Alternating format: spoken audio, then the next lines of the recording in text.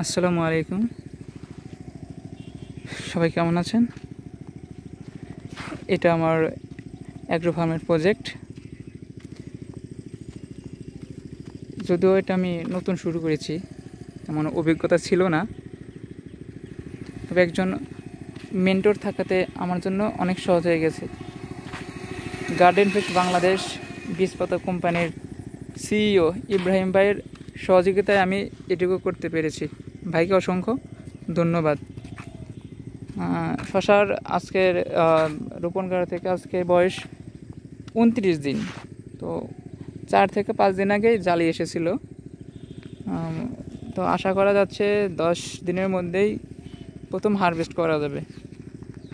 চল্লিশ দিনে হারভেস্ট করা যাবে। আর কিছু জায়গায় আসলে মিস গিয়েছিল। মানে ঈদের আগে আমার বাসা তো আসলে সিরাজগঞ্জ। আমি দিনাজপুরে একটা দিনাজপুরে হাইজান এসে পড়াশোনা করি। তো এই সুবাদে দিনাজপুরে থাকি। এখানে জমি লিজ নিয়েছি তো